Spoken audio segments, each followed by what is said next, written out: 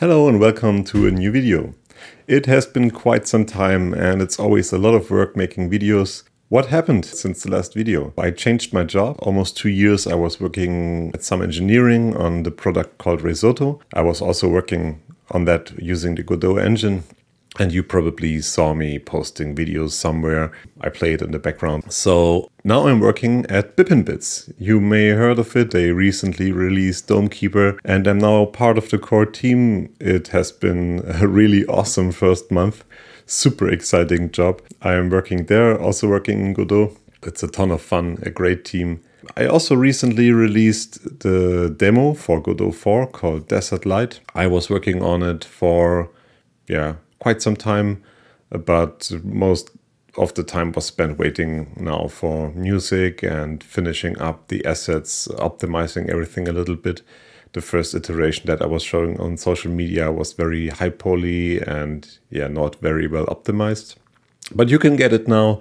I put a link in the description and you can check it out if you like. And what I want to do in this video, so much talking just for the intro, but let's get to the video. Um, what I want to do today is to build a scene in Godot 4 um, using the assets of Desert Light. So we're going to build a 3D scene and I'm going over some settings of the world environment. I'm going to give some tips on composition of your scene. And uh, yeah, I'm just starting building it. Um, usually I have a very strong concept for a video, but this time I will just start out and we'll see where it takes us and uh, we play around with some settings and yeah hopefully in the end everything will look cool. And um, if i encounter something that i want to talk about uh, a bit more in depth while i work i will just stop working in godot and explain those concepts. And um, so it will be a very open format video. I hope you will enjoy it and let's jump right in. I opened the original demo scene to start out and then let's create a new scene. Let's call it demo 2 how very creative. And first I want to start out by blocking out the scene so to get an idea of what we will be building. Um, to do that I get a mesh instance. Let's put a box mesh on it. Let's make it 10 by 10 meters like this. Yeah, and now the blank canvas syndrome maybe we can build something. So I duplicate those and then just move them around. And like this, I will quickly block out the main scene. Maybe we can do something like a cool canyon or something the like. So by pressing T or pressing this button here, you can use local space, space which is pretty cool to move stuff around.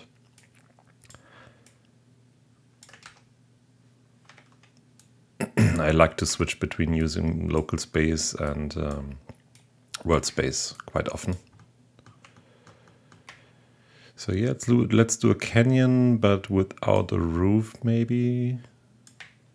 And then something in the center to make it more interesting. If I want to change the shape of the mesh, I will just go in here and do it like this, but you can also just change the scale of the object. And then some kind of bridge.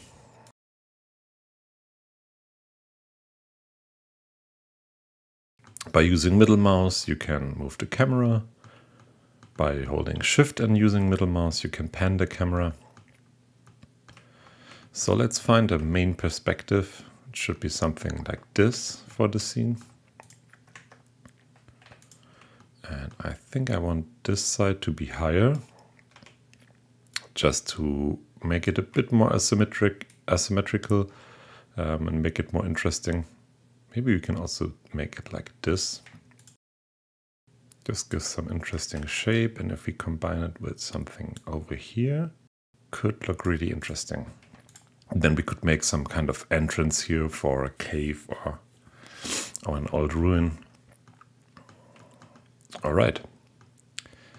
So let's also add a new node 3D. Let's call this lights. Let's add a directional light.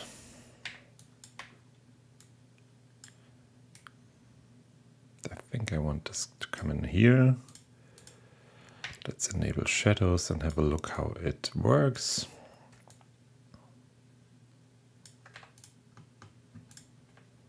So right now uh, I'm looking in how I want the light to look in the scene in a general sense. Like, of course, we are going to move the light around, but the first step I want to get an impression how the light could be interacting with those different geometries in the map.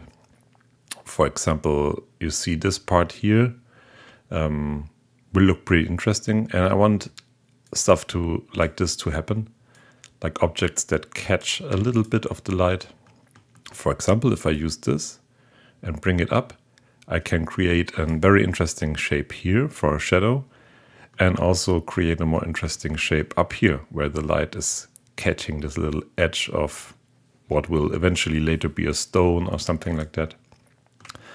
So let's scale this a bit like this and also this over here this and the ground plane. And now we're starting to see some interesting shapes. By the way, with this button here, we can disable the environment. Um, sometimes it's good to get a more clear view and um, to have everything else disabled. But we can keep it on for now. Okay, so now I have this and maybe I want some more rocks to come down from the front and have some kind of canyon opening.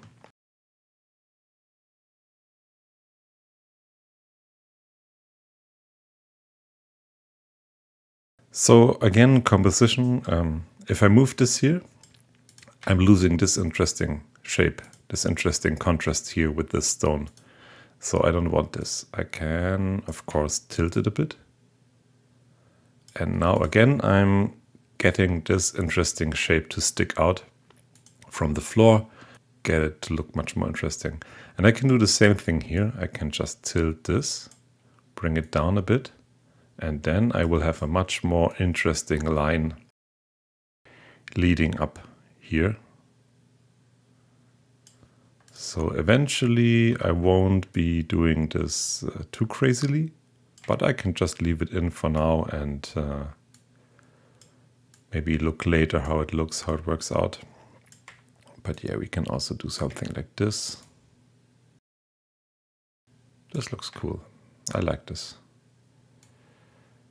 maybe a bit less. Okay, so I think for the main geometry, this looks interesting enough. Let's pull this down a bit more. And here in the back, I will do some kind of opening and uh, maybe cave or we can also use stones, something like that. I want to tilt this a bit more to point in this direction a bit more. And now we could do two things. We can do this. And if you follow this line and this line, it will point over here. Or we can do this. And then the lines will point a bit more toward this corner here. So if we put something here that looks interesting, it should work out. Um, ideally, we want everything to point to the cave entrance.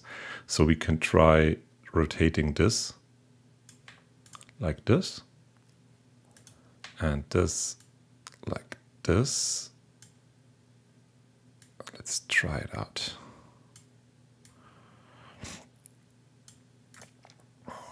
We give this a more neutral edge like this. Yeah, I mean, we could do it like this, but I don't like it too much. Let's go back. I like this much more, even if it points up to the sky. But um, the overall shapes look more interesting. But also a bit conflicting. I'm a bit torn. Let's put it like this. So now we have this line here pointing towards the entrance. We have this line here pointing towards the entrance. We have this line here pointing towards the entrance. A lot of lines that point towards the entrance. This makes it a bit more dynamic. I think this will be fine. We can of course also tilt those so they point a bit more towards the entrance of the, the thing. Angle this like this. So now everything is, almost everything, this one not. But I like it so much, so I will leave it in. All right, now we have this. Um, eventually we should put something more to the top. Why? Because if we are going to add some volumetric fog and we have this directional light from the top right, the directional light from the top right, then everything will be flooded with fog. So we have a couple of options here. Um, I usually just like to put more stuff on top of the scene if you want to work with volumetric light, uh, volumetric fog. But I want to for this video. And um, we put it here. And I pull it a bit to the front like this. It could look interesting. So now we have more stuff that casts a shadow here. And stuff that casts a shadow is good because then we will have more interesting volumetric fog later. I miss, however, seeing a bit of the sky. Maybe we can fix that by turning it a bit. I like this. And now we have a little bit of sky peeking through here and here. And like this, the scene looks interesting enough. Um, let's put in a camera so we kind of save this viewing angle and we can come back to it.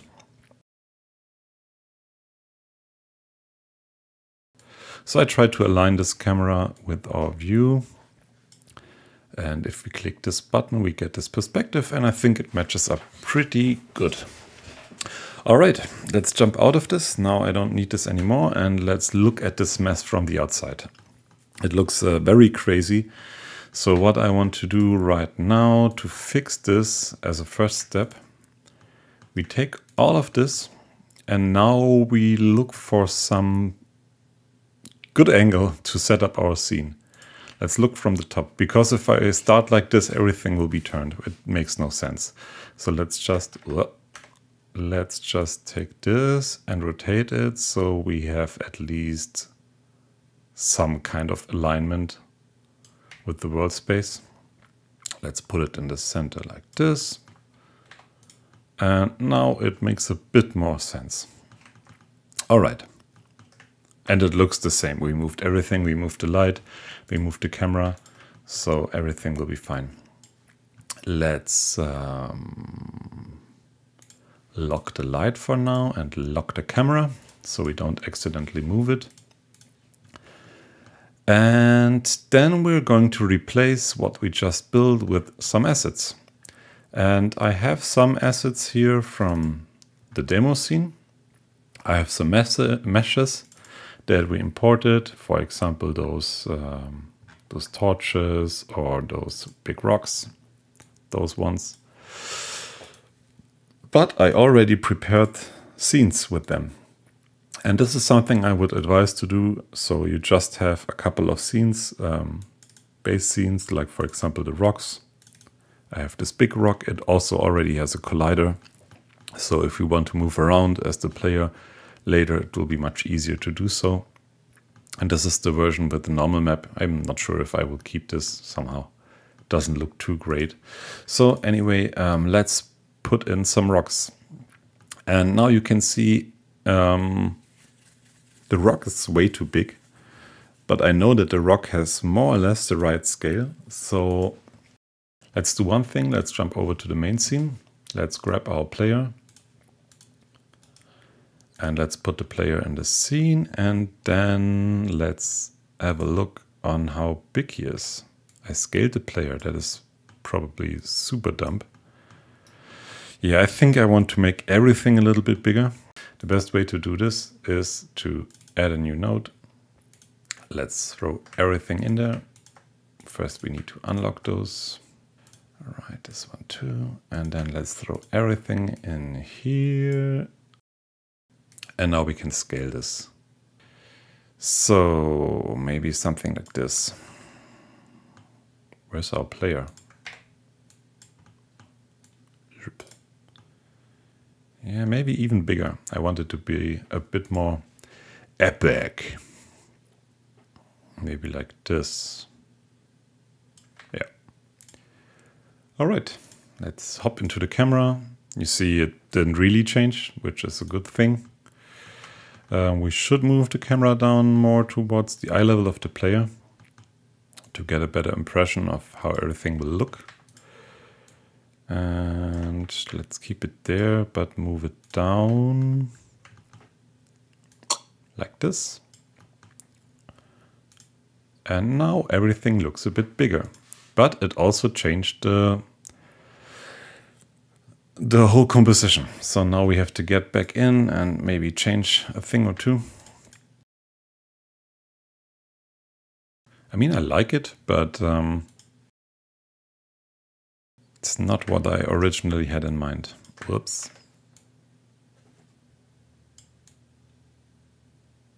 But yeah, I think it's fine. If you look up, it looks pretty epic and cool.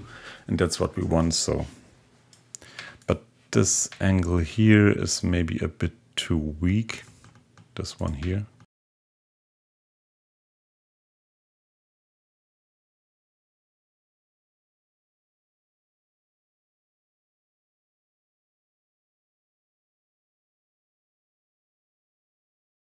Well, I guess this looks interesting enough. It looks a bit too big, but maybe we can break it up with some smaller shapes. And I also want to scale down this rock a little bit. But yeah, let's build the scene.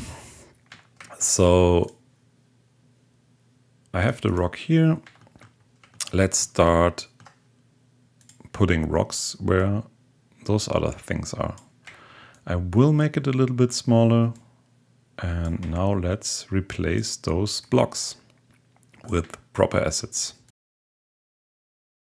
And as this is not Unreal Engine, we can't use Quixel or stuff like that. And I also want to go for a more um, stylized look. And with this, um, using those assets here makes much more sense.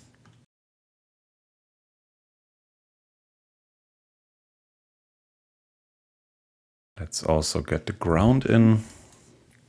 I'm using the same ground sand that uh, I used for the other scene. Eventually I'm going to replace it but for now it's going to be fine.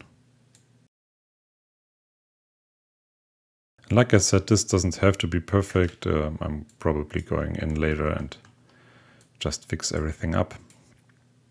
But I want to get the basic block out done rather quickly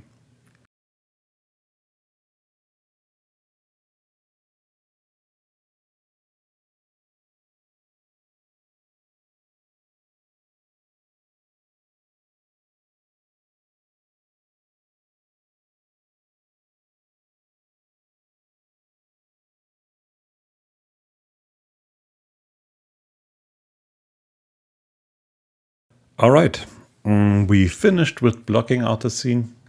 So if we look in the camera, it looks pretty much like what we had blocked out. It's not so straight. This one is a bit uh, wobbly and this one too, but this will be fine. Um, let's see if we can put everything we build into another node. And then we will compare it, how it looks. It doesn't have to be a perfect match. We're not bound by law to make it look exactly like what we had played out, uh, planned out and laid out in the beginning. But uh, it's interesting to see if there are any major differences. So now let's hide it. Let's go into the camera and let's see how it compares.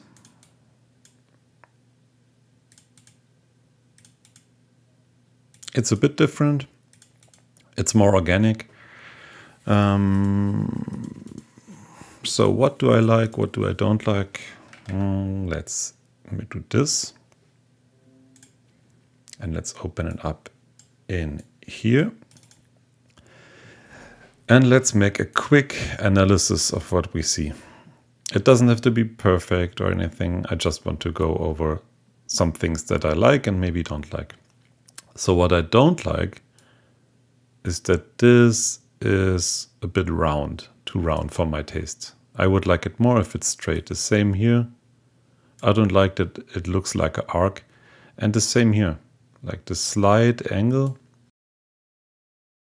is something I don't really like because this is the only place where it's where it's looking so organic uh, apart from the ground. But in the back here, it looks very straight. Lines are connected very straight. And um, something else I don't like is this part here, this little window. It breaks up the shape too much. Um, maybe we can fix it by closing this triangle here. And right now it has a bit of an off balance. I mean, in the end, if we move the camera around, if we walk around as the player, of course, we're not having this fixed perspective that we have right now. But at the moment, this side here looks much heavier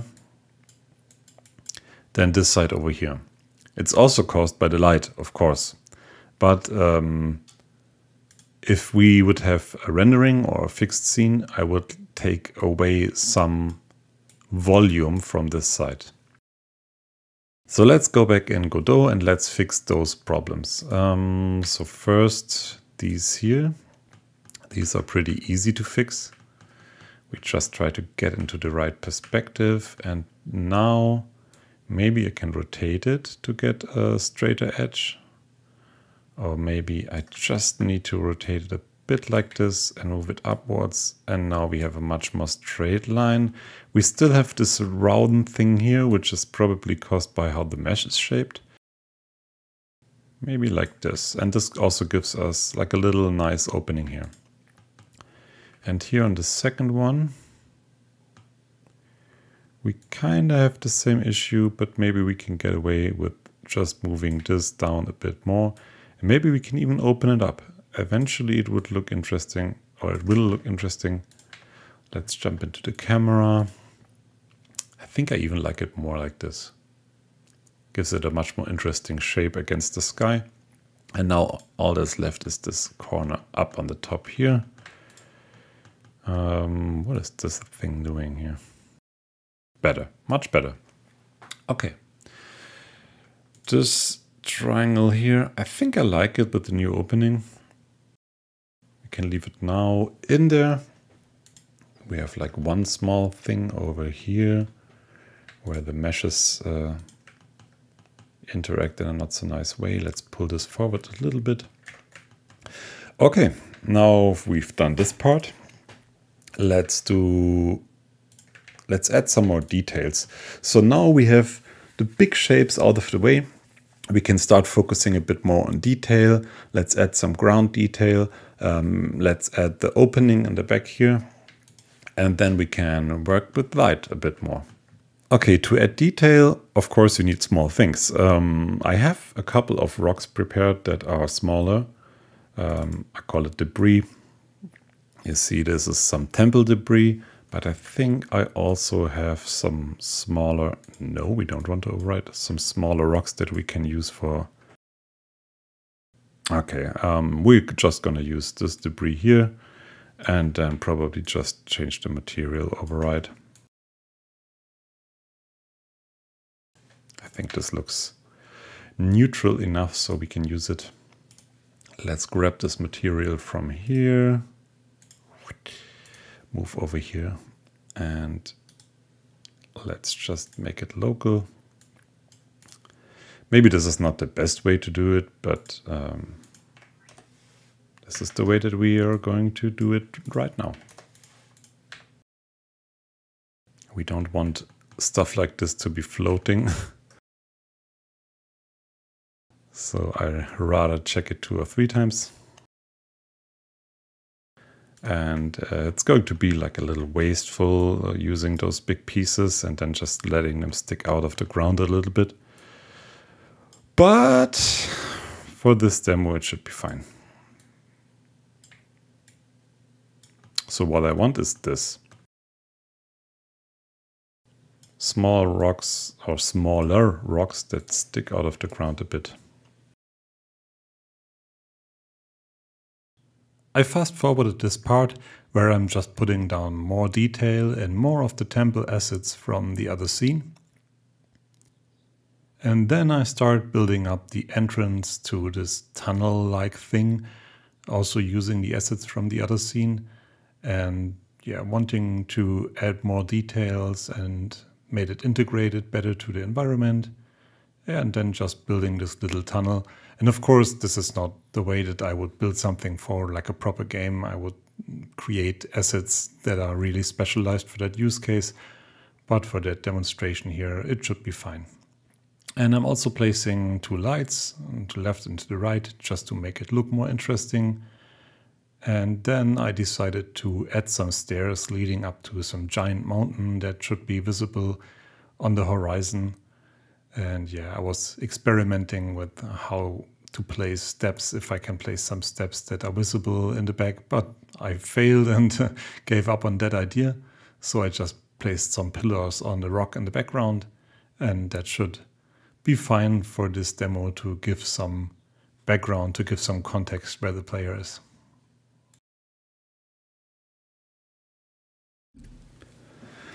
Okay, I think um, this is it from modeling perspective, we could say. Of course, we could add more detail. I could create more assets, etc., etc. But for now, I think it's good. Um, we should start looking into, yeah, um, putting, getting some nice lighting in, creating some atmosphere like I said, we could continue on this forever, but um, that's not what this video should be about. So let's do one quick check how the light looks. I think it looks pretty cool. We can get some really nice mood on the back rock there with the sun going down. And maybe we could add one more thing here. Imagine if the sun goes down and it's already at this angle. I think it would look really cool if we add one rock here in the background basically that is not necessarily to be seen. But if we put it at the right position, then we could eventually get a nice shadow on here. Now you can see the shadow range is not enough. Um, we need to go into the light and in the shadow. Here we can see the maximum distance. If we turn this up, we also get a shadow here in the back. Let's put this to 400 and then let's do this so we get a nice interesting shadow shape going on when basically the sun is going down like this. And hopefully as a player we won't see this we're down here in this alley more or less. And if the sun goes down, we will get this nice shadow. Eventually we will get also some artifacts, but this is fine. All right. So far, so good. I think it looks pretty cool. Of course, it's not perfect. Like we will have some bleeding going on here at this at the stairs. This is far from perfect. Maybe we can just quickly add some blocker here. I already created this thing here and we can just copy it and move it over to the stairs and do something like this to just block the light. Yeah, those are the moments that are annoying. But anyway,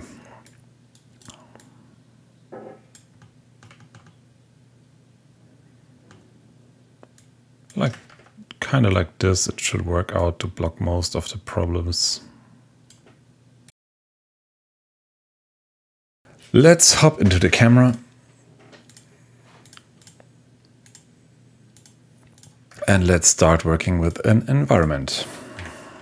So we add a world environment node. And you can already see instantly that the mood of the scene changes. So the first thing I want to do is add a new environment set the background to sky. Now go into sky, create new sky, we create a procedural sky, and now we have a sky. We can set we can set the sky colors.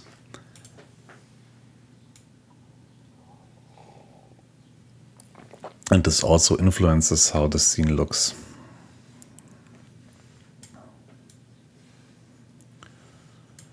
Okay, now for the ambient light, we can take it from the background. And what ambient light does is it will add a light to the overall scene. So if we turn down the energy here, you can see that we will have much harder, harsher shadows. And if we turn off the directional light here, why is it scaled? Huh. All right. Um, if you turn off the light here, you can already see that it changes the view of this overall scene or how it looks quite dramatically. I don't know why some of the materials are still lit. Eventually it's it's because of the materials. Let's check this out real quickly. Boop. We can do it from the camera. The material should be named Temple. Eventually it has some backlight going on. No. Ah, it's probably the reflection of the sky. Yeah, okay. All right. That's not a big problem.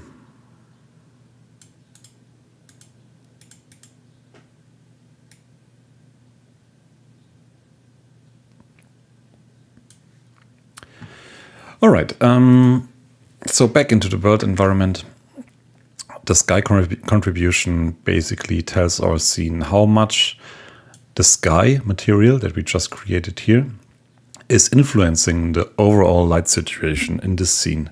So if we turn this up to one and we go back into the sky, and for example, we change the energy here, that will also influence how our scene looks.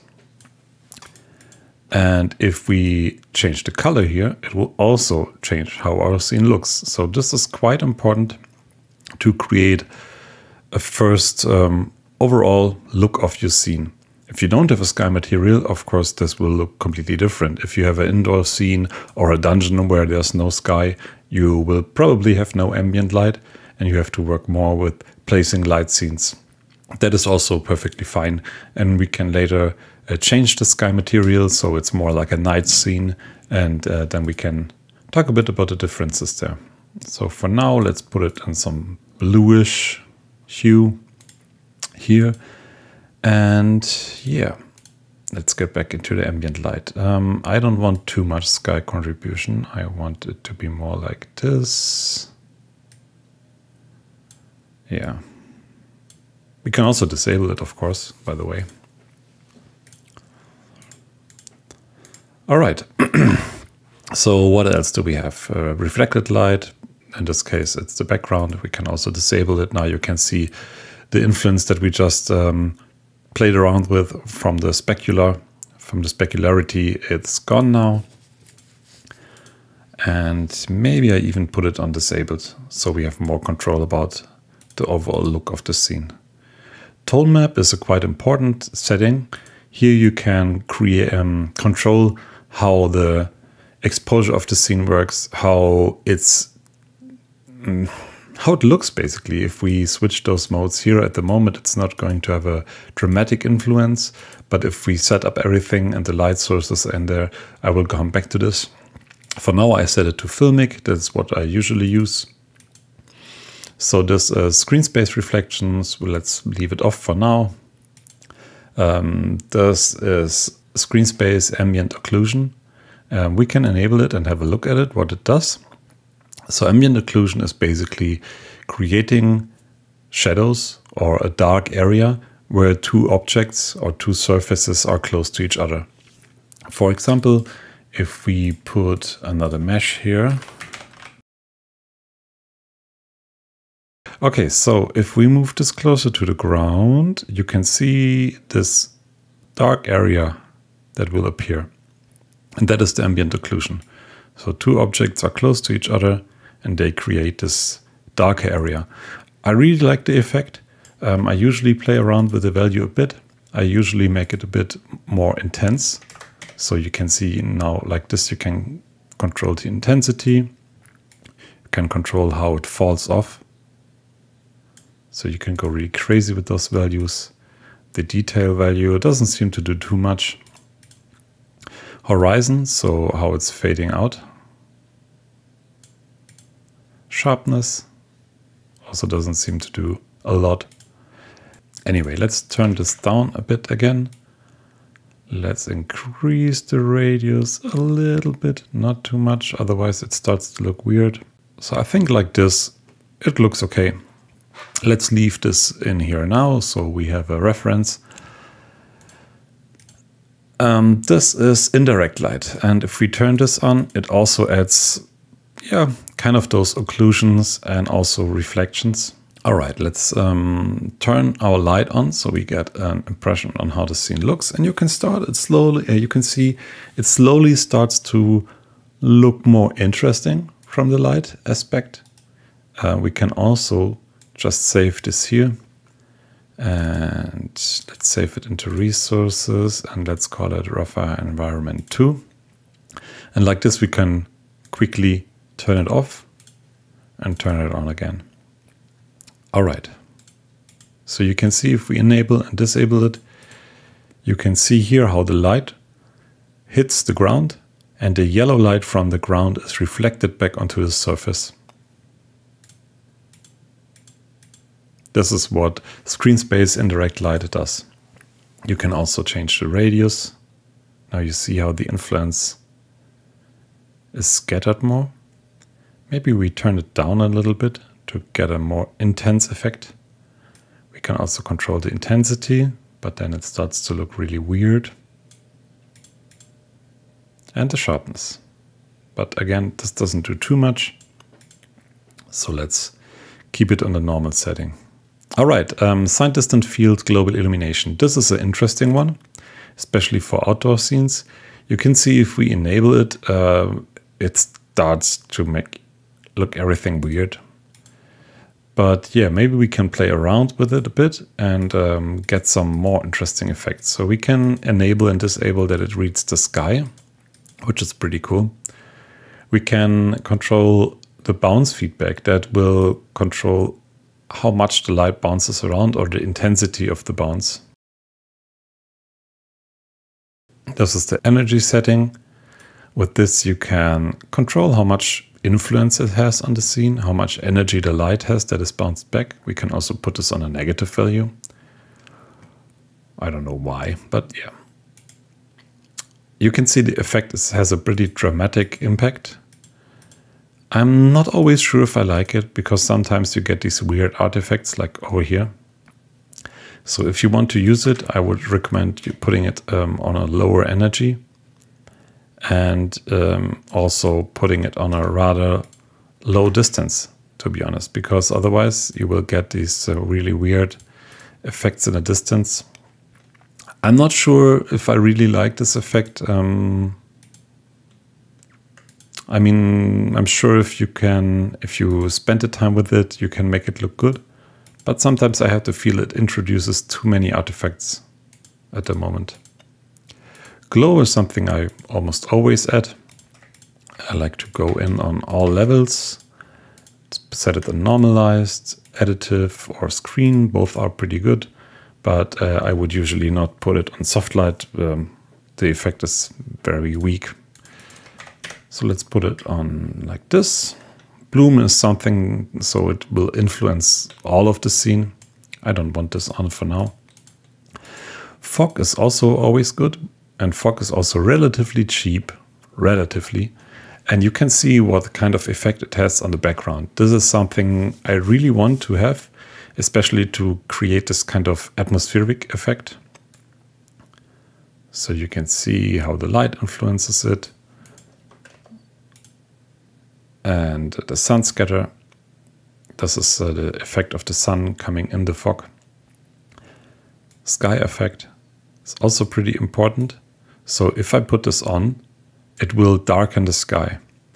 I don't necessarily want this because the way that I want to use this effect is more to create an atmospheric overcast effect on the background and not to affect the sky itself.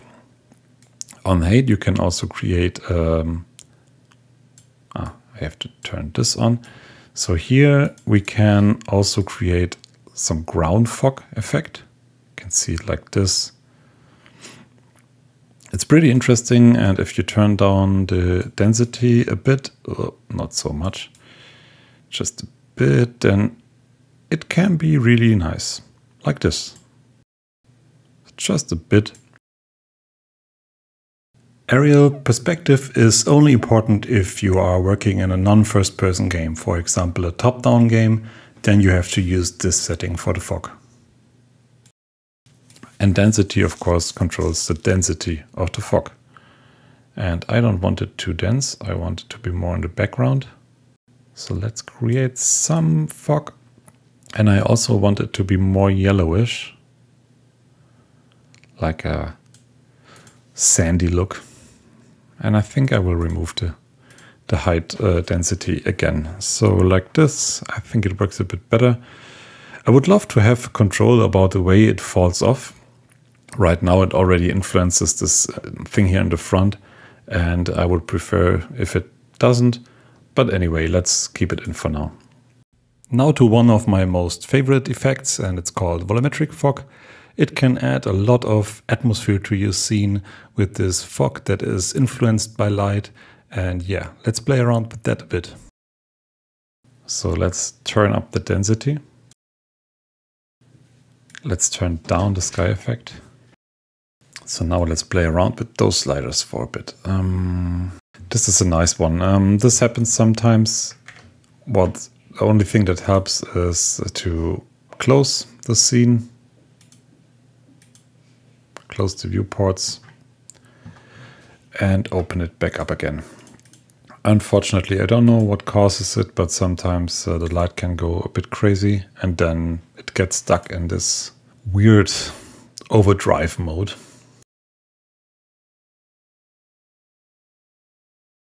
Ah, now we go. Okay. Probably our camera is in the direct sunlight. Um, let's disable it for now and look what's the problem. Yeah, you can see our camera is in direct sunlight and that will mean that um, this fog is really hitting the camera. So to avoid this, let's just take one of those rocks. Let's move it over here a bit. Let's rotate it. Let's put it down like this. And with this, we will have a bit more shadow on our camera. And what that will do is to make it much easier to control the effect and also make it look a bit better in the game. So let's turn the light again. Enable the volumetric fog again and now you can see it hits right through here. And if we play around with these sliders here, you can also see how it changes the scene. And with volumetric fog, you can also see that it really darkens the scene. So we have to do something about that. First, I also want it to be colored a bit like sand. Let's go in and turn it down. Maybe more like this. And with those sliders, you can control how the fog looks, where it's the most, uh, the most intense effect, basically. So I think the default setting is pretty good here. If you go into your project settings, you will find more control about this effect. Here we already have changed settings from my project. This is not the default settings. If you want to look into those, you can just download my project, look into those settings. It's not too different from the default ones, but you can have a look. Here the volumetric fog size, I turned it up. And as you can see, it changes the quality and the sharpness of it. The more we add here, the sharper and the more detailed it's going to be. But it's also much more performance hungry. Let's put it on 265. Now you can see everything looks a bit dull. Um, this is where we come back to tone map and we can play with the exposure. So for example, if we put, uh, turn up the exposure, it will get back more contrast. If we put up the white point or change the white point, you can also control how the scene looks. or you put it on ACES, which puts back more contrast. So this is the default setting. This is ACES. You can already see it brings back a lot of contrast. And what I also want to do is to enable adjustments here and to add a color correction texture or gradient. And in here I usually come in and I put one here and one here and the one on the top. I color a bit more towards the yellow side or warm side. Not too much, just a tiny bit. And the one in the shadows,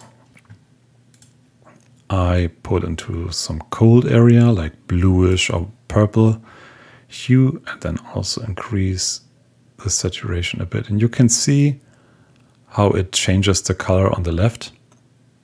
Now it's a bit more dramatic. If I put it up all the way, then you can see how it influences the colors in the scene. And what this does and what I use it for is to create a certain mood in the scene. Usually I want the shadows to be cool from the color temperature aspect and the lights I want to be more warm. So I just add some yellowish hue here. And you can now see if I enable and disable it, it changes the overall look quite dramatic. It's uh, not too crazy, but I always like to do this um, to color correct the scene. Let's hide the ball. It's a bit irritating. Okay. Now we're slowly getting somewhere. It's still um, not perfect. So let's play around with the volumetric fog a bit more. And I think we need just more power in the directional light.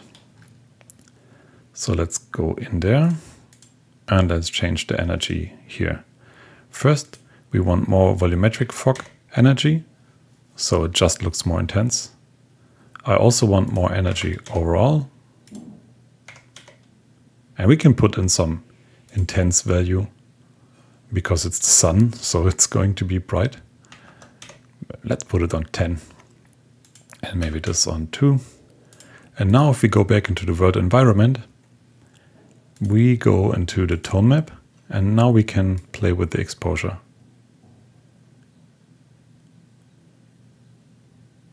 And you can see now it has a really much more dramatic impact on the light. And what we want now is some detail in the shadow.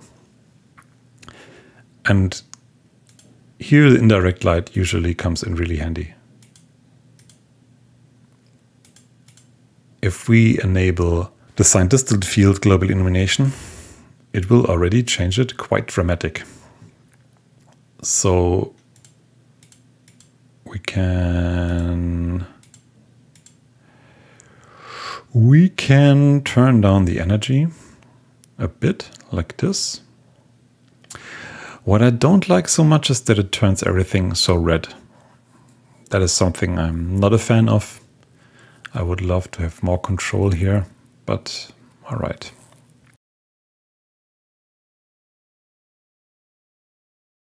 Hmm, that doesn't seem to do a lot.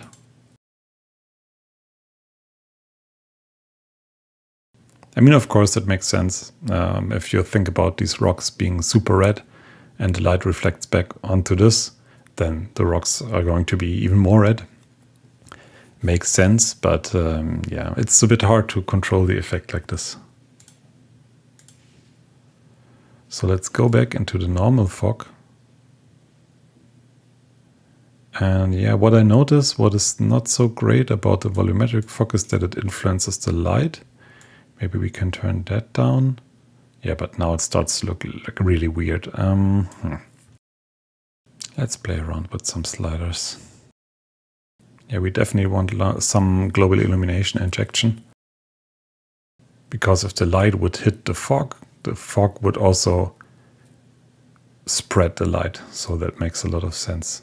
Maybe we don't overdo it, but we can also play with the light later, how strong it is. Okay, I like this effect much more. Now maybe we should go into the sky and increase the energy there. I think that makes a lot of sense. Because like this, it looks like a night scene. We want some energy in the sky. Maybe we can also make it a bit more blue. Would be cool to have some clouds, but maybe we can look for material later. I think I will disable the ambient light completely. And I need to play around a bit more with the exposure. Not too happy with it. And after that, I still need to tune and fine tune a bit the settings on the volumetric fog. Yeah, we need to keep detail spread up a bit, otherwise it starts to introduce some artifacts. All right. Maybe we should just give it a go. I don't know what happens if we press play, if we get into the first person camera or not. Let's see. No, we just go into this camera here. Let's stay in this camera and just play around with the light a bit more. So we could also color it a bit.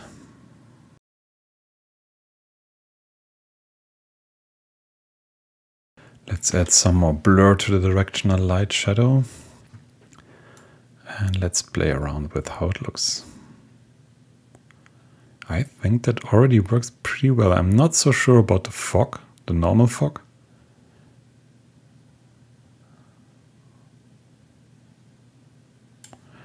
Let's go back to the world environment, check out the fog a bit. But yeah, that's not a problem. Fog is doing a good job.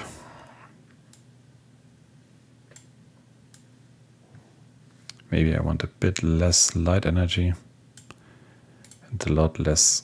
Oh, the sun, sun scatter is crazy. I mean, it's cool, but the problem is that it's also happening here, where I don't want it to be happening.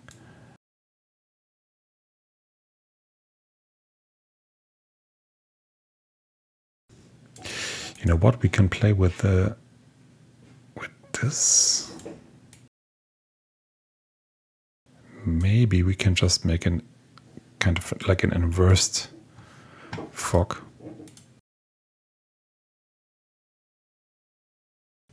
Yes, this works. So maybe we can just keep the fog a bit higher. Then we don't have it in the front here. Yeah, I think that works much better.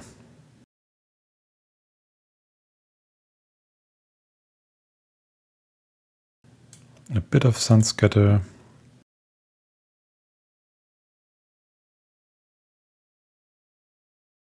Still a bit too intense in the front, but maybe we can turn down the density a bit more, like this.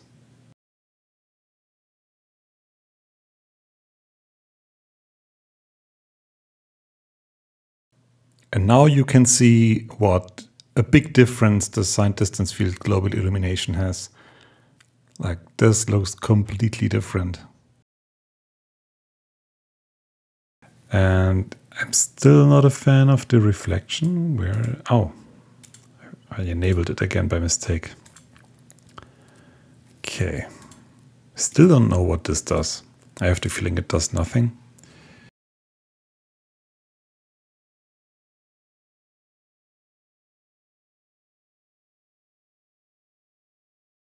Okay, maybe this is what we want.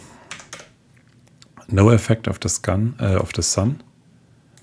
And this directional light has no effect on the indirect light at the moment, or very little. If we turn this up a bit, it may just be what we want. If we put it on 1, it's too much. But maybe 0.5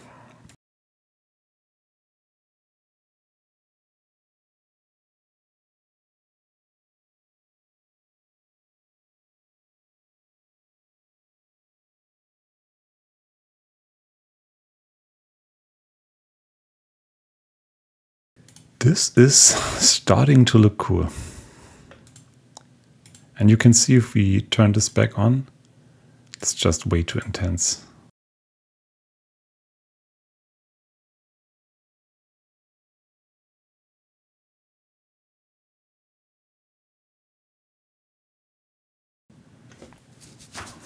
All right, slowly we're getting somewhere.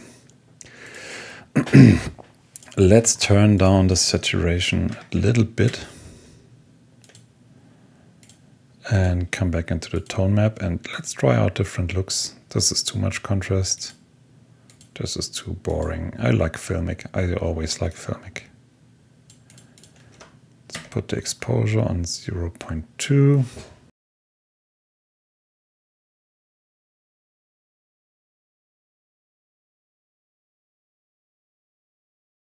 And also if we change the color, for example, we go for more sunset-like atmosphere, could look really nice. And we need also to um, to change this.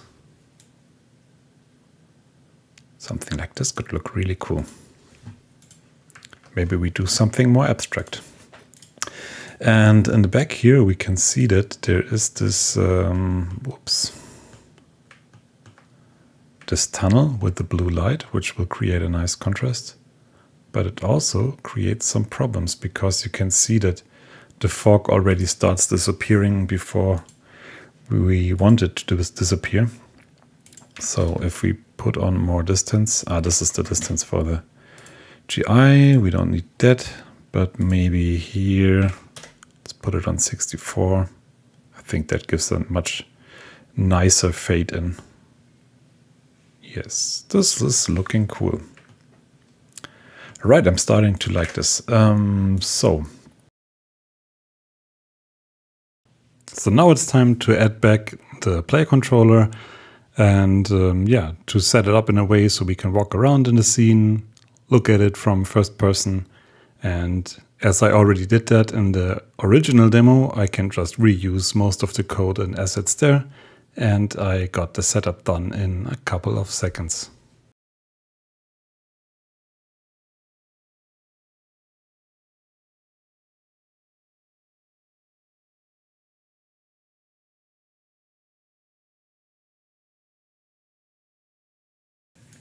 We could play around with the light a bit to basically um, get the same behavior that we had before in in the demo scene. So let's add an animation player. This is like the quickest way to do things like this. And then let's get the light that we had. And I think I want to add one more light whoop, in this tunnel thing. One light to emphasize on this um, blue light here a bit more. Let's add an omni light.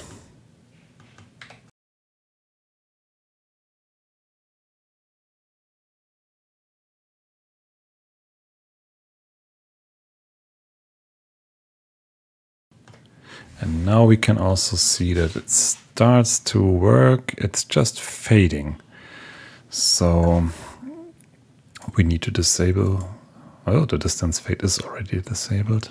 then why is it not working? Why is it fading? Hmm. Set the volumetric fog.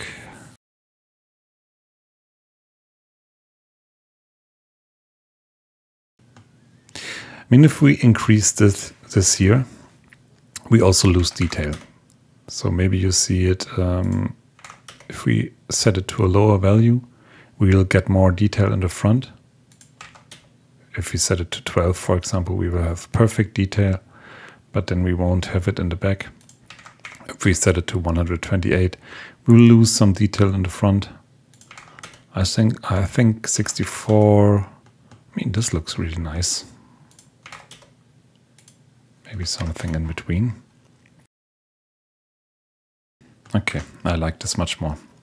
Okay, so let's animate the light, what we initially wanted to do. Um, let's grab the rotation. Oops, I didn't want to reset it. I wanted to make a new track. Let's key the rotation. And I don't need to do it 20 seconds or something like that. Let's just do 5 seconds and we put one key in the middle. Where maybe it's like this.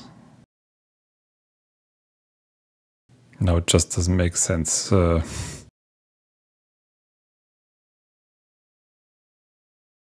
but somehow it's still not doing what i want. Okay let's just use this differently. Mm. you know what? We're going to kill this track and completely change how our light will work. Mm. So let's reset this. Ah, here's the problem. So we have this thing here, it's called lights and it's down here, which is fine. Let's reset everything here too. Reset the scale, reset the position. So now we have our light here. Let's reset everything. All right. And now let's put it like this. Let's turn it like this. And if we now animate the rotation of this, then we can change the sky and it makes more sense for my brain. Maybe for yours too. And if we put it like this, then we can just flip this and it will create one nice motion. But what do we actually want to do? Light source, where are you? so one thing that could be really helpful is to, would be to just disable the environment like this. And now we eventually see a bit better what we do. Where is my light? There it is. Okay, let's reset the rotation again. There's my light source. I want it to be over there, like this. And now we can do this. And this should look like some kind of day cycle.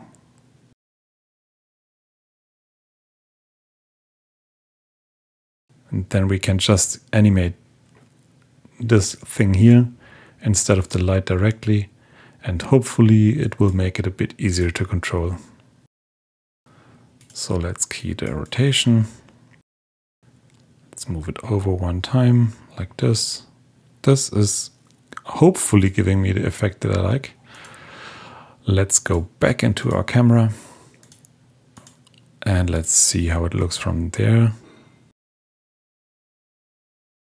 So we keyed the rotation, but what we didn't key is this rotation. So we can still change this and this should help us to create a more interesting pattern basically. I think I like this. All right, so now next step is to animate the light intensity and also animate the color. So I want this to be the color in the morning. And then for noon, we go more to a neutral color. And in the evening, it's going to be a bit more orange.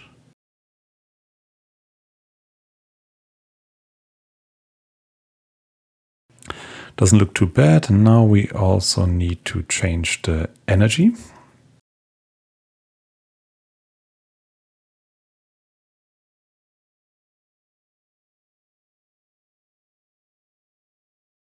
And of course we could set this to cubic, but eventually it will create some problems. Let's see.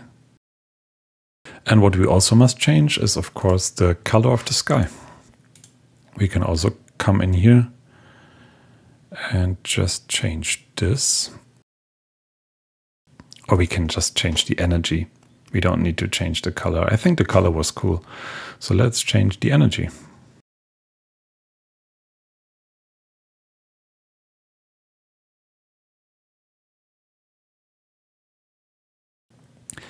A super simple day and night cycle. Not physically accurate or anything, but it will do its job. What we also have to take care of is the fog. Right here it starts to look awkward. So let's uh, animate this too. Just come in here and we can keyframe this, hopefully. Why can't we keyframe it? Can't we keyframe this? Why? Now it works. Okay. So probably we need to change light energy. Let's test it out real quick. Yes, okay. You could also change the color probably.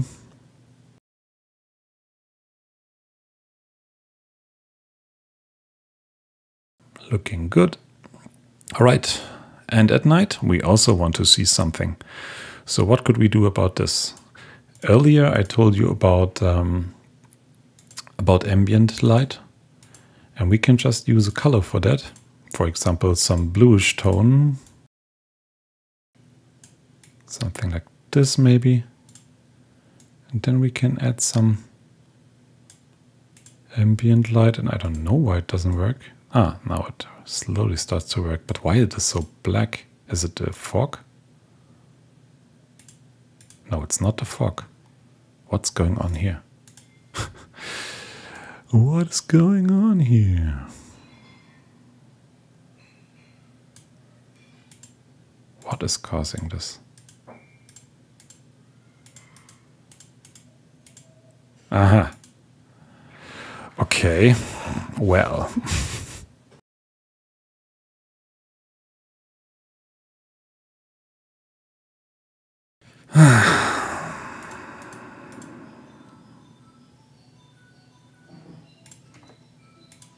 have no clue what is causing this. Is it a distance?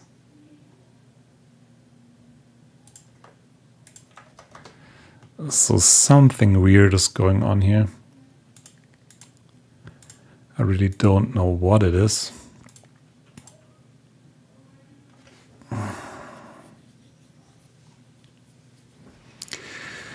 So maybe we just turn it off at night. I mean, of course, we could also add another directed light and make it a bit um, like moonlight or something like that. We could also try that. I'm not a fan of of playing around here with um, with this too much. Somehow it feels wrong.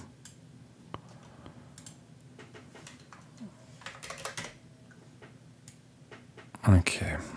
Let's add another direct light. Uh, how can we handle this in a graceful way?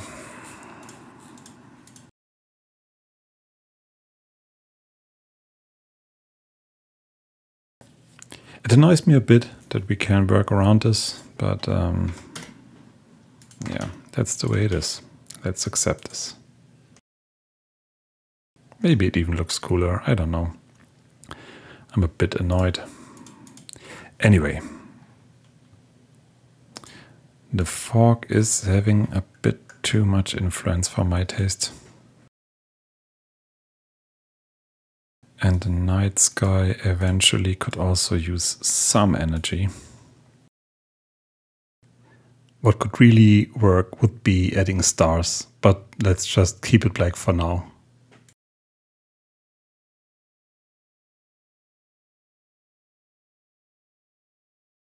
Okay, I think this looks good. Um, zero? Really? Does this even do anything?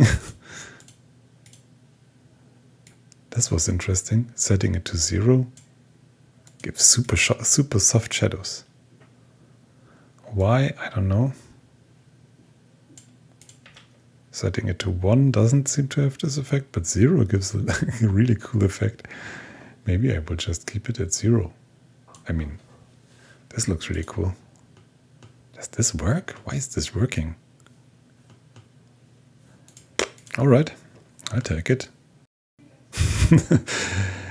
anyway, let's keep it at zero. I mean, it looks cool. Okay. Mm. Now let's just take this animation player. Let's call it day and night cycle. Let's put it on autoplay, looping, and does it even loop? I never tested it, but probably not. Ah, it kind of loops. Maybe we just add seven seconds. Uh, let's add. Let's put it on seven, and now. Yeah, this works perfectly fine. Not.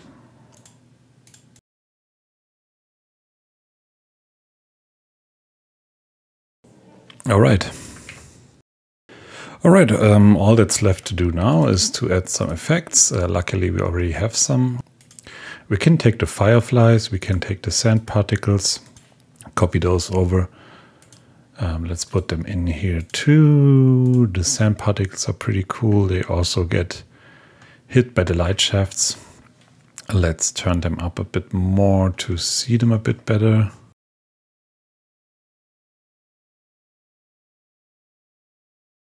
But yeah, let's not do the fireflies. Let's just do the sand particles. I don't want to animate any more stuff. And let's start the scene and let's have a look. Oh yeah, this is some crazy day night cycle. Uh, I want this to be slower, so let's go in and let's set this to 0.2 or something like this.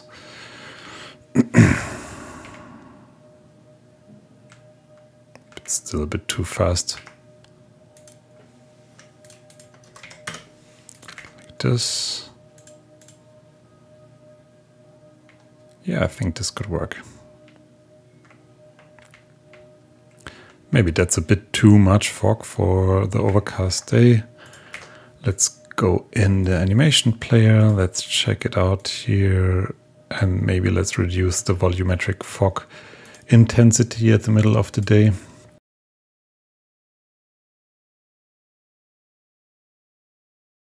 All right, um, so let's add some music and uh, we're done. Let's just see where we placed them. The wind should be here. The second wind can be here.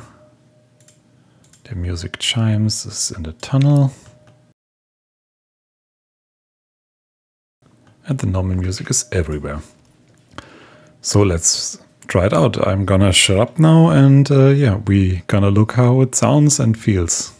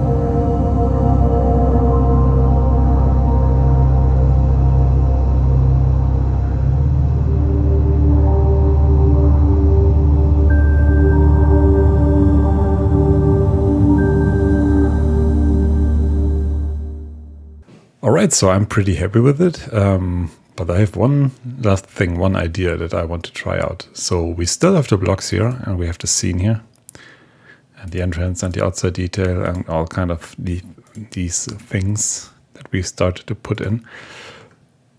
But just for fun, I want to see how this blocked out scene looks and um, if we landed somewhere remotely close. so Let's just play the animation and have a look.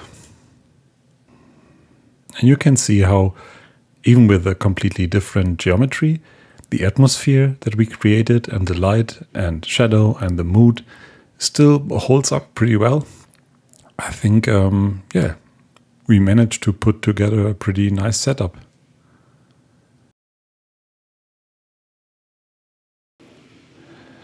And having a setup like this also allows you to go back and check if some settings still make sense, if they really look good.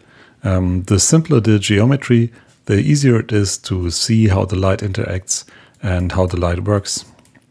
And if it really looks good, or if it's just, for example, diffused or blurred by the textures you use um, or by the effects you use, having simple geometry yeah, just shows the flaws very well. Like for example, here you can see those those splotches, and those are probably introduced from the global illumination. If we turn the global illumination illumination down a bit, those are a little, little less visible. We can also uh, play with the settings here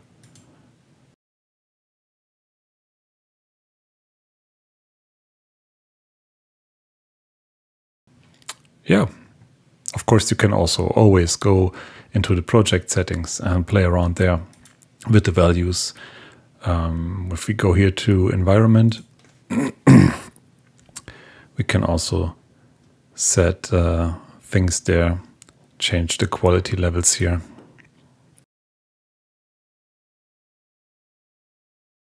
And of course, also depending on your scene, this is not the only way to do stuff. You can also, for example, add a voxel GI. You could bake your light if you don't have a dynamic light um, going in there.